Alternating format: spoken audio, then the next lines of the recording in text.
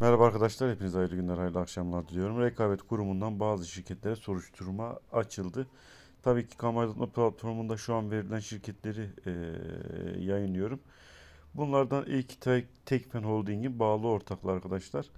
Baktığımız zaman e, bağlı ortaklığımızdan Toros Tarım Sanayi ve Ticareti AŞ'nin de aralarında bulunduğu 7 teşebbüs hakkında Rekabet Kurulu'nun 8. ayın 12 2021 tarih ve 21 e, 28 bent 543 sayılı kararı ile 4054 sayılı e, kanun 4. maddesini ihlal edip edilip edilmediğinin tespitine yönelik olarak 4054 sayılı kanun 41. maddesi uyarınca soruşturma açılmasına karar verilmiştir. Soruşturma başlatıldığını gösteren işte sayılı soruşturma bildirimi 8. ay 26 2021 e, tarihinde e-tebligat aracılığıyla tebellü edilmiştir denmiş arkadaşlar. Birincisi Tekfen Holding'in bağlı ortaklığı.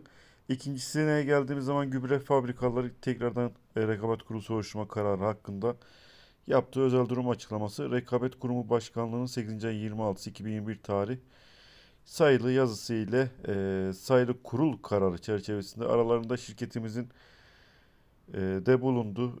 İşte nokta nokta ünvanlı teşebbüslerin 4054 sayılı kanunun 4. maddesini ihlal edip etmediğinin tespiti amacıyla söz konusu teşebbüsler hakkında kanun 41. maddesi kapsamında soruşturma açılmasına karar verildiği bildirilmişler gübre fabrikaları için.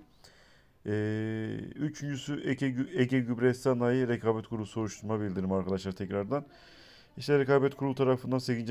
26 tarihinde şirketimize tebliğ edilen bir yazı ile 4054 sayılı kanunun 4. maddesinin ihlal edilip edilmediğinin tespitine yönelik olarak Ege Gübre Sanayi işte ve aralarında hakkında 4004 sayılı kanunun 41. maddesi yönünce soruşturma açılmasına karar verildiği bildirilmiştir.